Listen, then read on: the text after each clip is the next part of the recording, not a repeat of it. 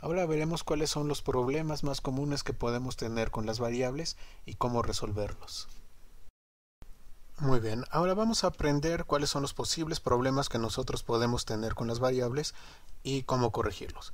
Entonces voy a empezar a introducir problemas al código que ya teníamos acá.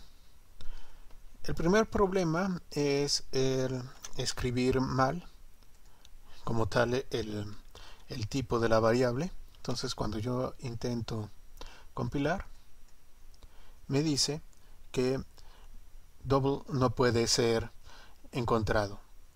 Bueno, cuando sucede esto, lo más probable es que yo haya escrito mal el tipo. Entonces se corrige muy fácilmente. Recuerden, damos doble clic y simplemente llevamos a cabo la corrección. Ahora, el segundo problema que nosotros podemos encontrar es cuando hacemos la parte de la inicialización olvidar el igual. Veamos qué sucede. Nos dice que se esperaba punto y coma. ¿Por qué? Porque esperaba simplemente que fuera una declaración de variable sin ningún tipo de inicialización. Entonces vamos a la línea, observamos qué sucede con la línea y ya colocamos el igual.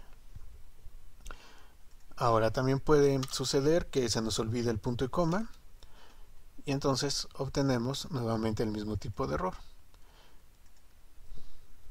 Se corrige muy, muy rápidamente. Ok.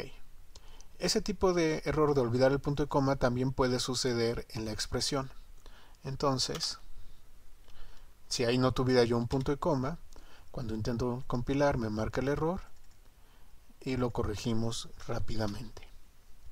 Bueno, estos errores son muy sencillos, pero hay errores un poco más complicados y que algunas personas cometen.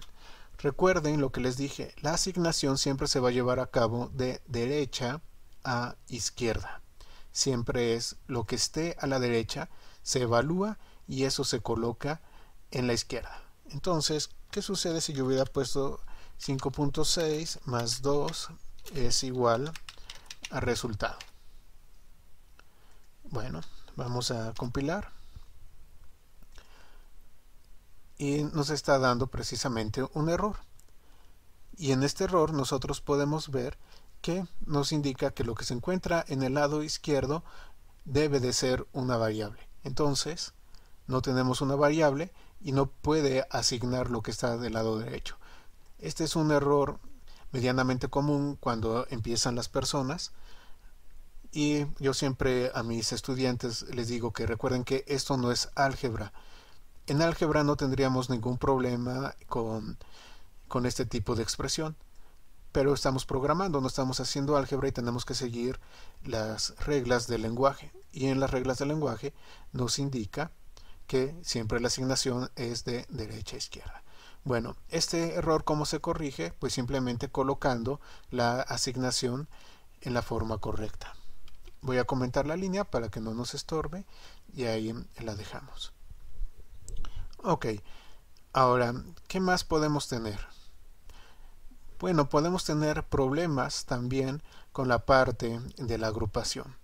Digamos, si yo olvido un paréntesis, entonces estoy generando un desbalance con los paréntesis. ¿Por qué? Porque tengo más paréntesis de apertura que paréntesis de cierre y entonces esto no está correctamente indicado. No puedo yo saber cómo viene la forma de la agrupación y la computadora me está mandando un mensaje de error. Nuevamente vamos a hacerlo. Detecta que tiene un imbalance y que está faltando un paréntesis de cierre y entonces bueno yo ya coloco el paréntesis de cierre en el lugar que debe de ser. Ese es un error también que nosotros podemos corregir fácilmente. Y lo mismo puede suceder si yo olvido el paréntesis de apertura. Entonces me está diciendo que yo tengo una expresión inválida y me está generando un error en cascada. Al checar la expresión, bueno, yo tengo que ver si todos mis paréntesis están correctamente colocados, los de cierre con los de cierre, los de apertura con los de apertura, y si no, bueno, simplemente llevar a cabo la corrección en donde sea necesario. Otro error común con las variables es el escribir mal el nombre. ¿Qué sucede si yo a resultado lo hubiera escrito por error empezando con mayúsculas? Bueno, entonces en este caso me dice que el resultado no existe en el contexto actual. ¿Por qué? Porque C Sharp considera las palabras con mayúsculas y las palabras con minúsculas como si fueran diferentes. Entonces, para C Sharp no es lo mismo resultado con mayúsculas que resultado con minúsculas. Y nos está indicando que él cree que el resultado era una variable que queríamos utilizar, pero que no ha sido declarada, es decir, que no existe. Ok, entonces este error se resuelve simplemente colocando el nombre correcto de la variable, que es resultado con minúsculas. ¿Qué más errores podemos tener? Podemos tener un error, en este caso no vendría a ser un error tanto de sintaxis, sino de lógica, que por ejemplo se nos olvide inicializar una variable, que vendría a ser la variable valor 3. Muy bien, entonces vamos a compilar